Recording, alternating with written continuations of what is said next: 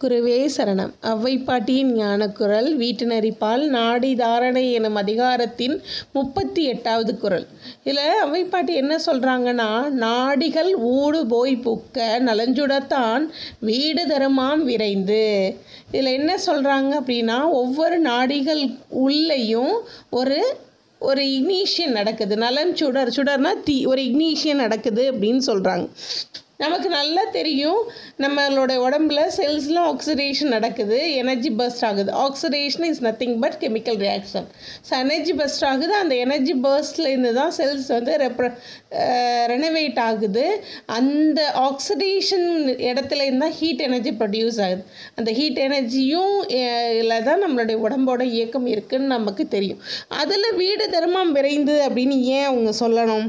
அதை நம்ம யோசித்தோன்னா இன்றைக்கி மாடர்ன் சயின்ஸ் எடுத்து பார்த்தோன்னா நம்ம உடம்புல கிட்டத்தட்ட எண்பத்தி ஆறாயிரம் பில்லியனுக்கு மேலே நியூரான்ஸ் நம்ம உடம்புல இருக்குது செல்ஸ் இருக்குது ஆனால் அதில் பத்து பர்சன்ட் பிரைன் செல்ஸ் மட்டுமே.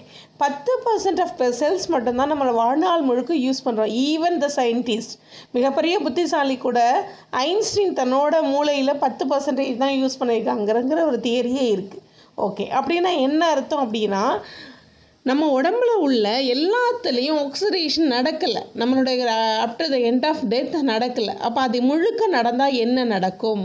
அதை தான் அவங்க சொல்கிறாங்க நாடிகள் ஓய் புக்க நாடிகள் ஊடு போய் புக்க நலஞ்சுடத்தான் வீடு தருமாம் விரைந்து. அப்படின்னா என்ன இந்த கம்ப்ளீட் ஆக்சிடேஷன் நம்ம உடம்புல உள்ள எல்லா நாடிகளிலும் அந்த எலக்ட்ரோ மேக்னெட்டிக் ஸ்டேஷன்ஸ் சரி வர இயங்கினது அப்படின்னா நமக்கு பிறவி சைக்கிள்லேருந்து நம்ம உடம்பு வெளிவரும். அப்படின்னு சொல்கிறாங்க ஓகே இதை நம்ம எங்கேருந்து நம்ம கண்டுபிடிக்கலான்னு பார்த்தா மிகப்பெரிய ஒரு சீக்ரெட் இருக்குது இது என்னென்னா சஞ்சீத கர்மா அப்படின்னு நம்ம உடம்போட இயக்கத்துக்கு நம்ம பிறவி ரீ ரீஇன்கார்னேஷனுக்கு சொல்கிறாங்க சஞ்சீத கர்மா சஞ்சீதம் அப்படின்னா எக்ஸிஸ்டிங் அதாவது மிஞ்சி போன பேலன்ஸ்டுன்னு அர்த்தம். அப்போ ஒவ்வொரு ஆன்மாவும் தன் பிறவி முடித்து அடுத்த பிறவி எடுக்கும்போது அந்த உடல் அந்த உடலோட ப்ளஸ் மைனஸை பேலன்ஸ்டாக கொண்டு போகிறது அடுத்த பிறவிக்கு கொண்டு போகுதுங்கிறாங்க.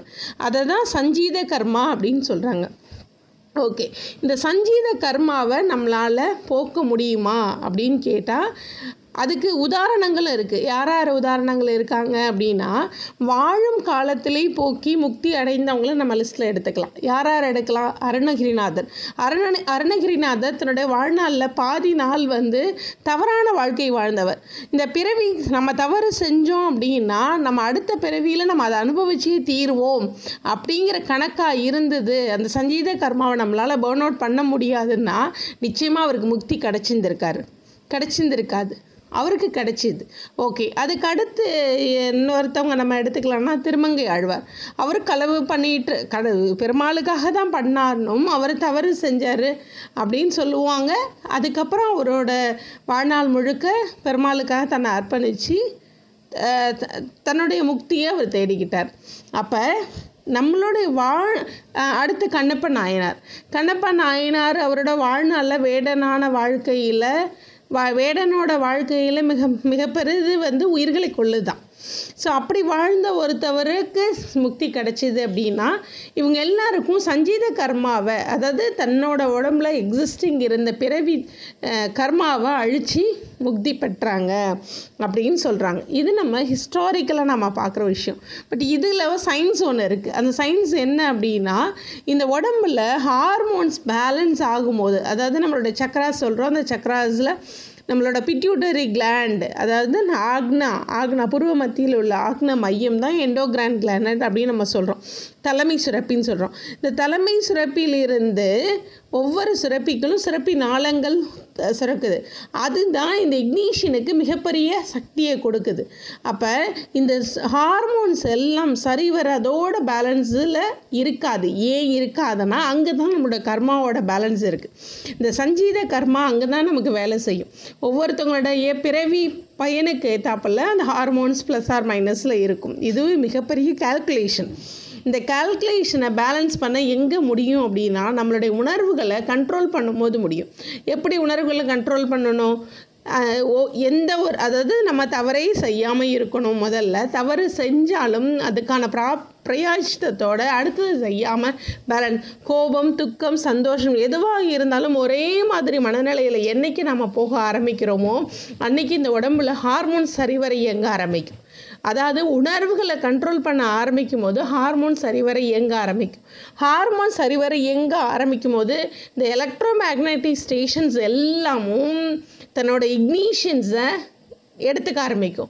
அப்போ அந்த இக்னீஷன் எடுக்க ஆரம்பிக்கும் போது இந்த உடம்புடைய கம்ப்ளீஷன் அதாவது ஒரு ஒரு வண்டி இருக்குது ஒரு அந்த வண்டியில் கம்பர்ஷன்ஸ் உள்ளுக்குள்ளே வந்து இன்ஜினில் கம்பர்ஷன் ஒழுங்காக நடந்ததுன்னா வெளியில் வந்து உங்களுக்கு ஃபியூ வ வர புகை வந்து கம்மியாக இருக்கும். அப்படின்னா என்ன அர்த்தம்னா அங்கேவும் ஃபியூவல் கம்ப்ளீட்டாக எரியுது அப்படின்னு அர்த்தம்.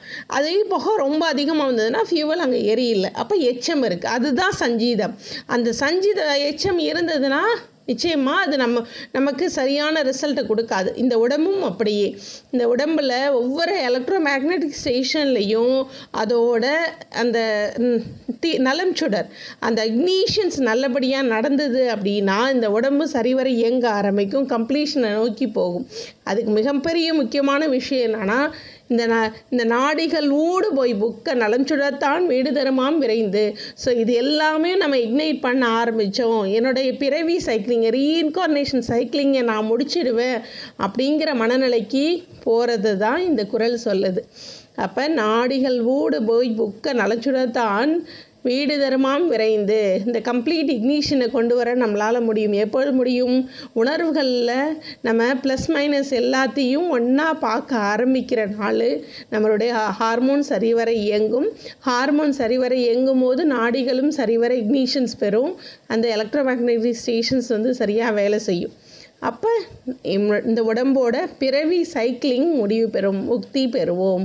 நன்றி வணக்கம்.